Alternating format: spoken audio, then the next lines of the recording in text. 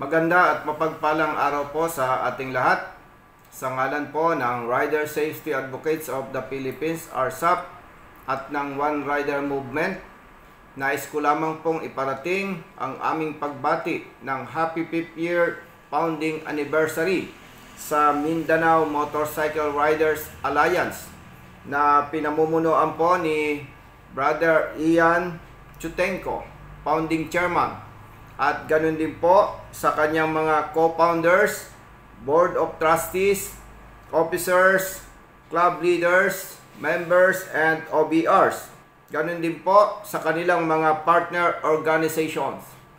Tunay po na ang inyong uh, pakikiisa na katulad ng ating advokasya na nagtataguyod ng kaligtasan at protection ng ating mga kapatid na riders ay napakahalaga upang maging matagumpay tayo.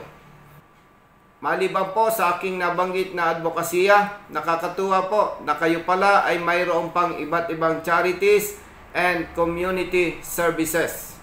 Ang inyo pong partisipasyon at aktibong pagkilos para sa riding community ay napakalaking ambag kung ano po ang ating kalagayan ngayon. Kapansin-pansin po na higit na mababa ang bilang ng mga namamatay sa pagmumotorsiklo sa panahong ito. At ganoon din po, dahil sa ating pagkakaisa, ramdam na ramdam po ng ating community ang naibibigay nating protection sa ating mga kasama na naaabuso at nabibiktima ng maling pagpapatupad ng batas.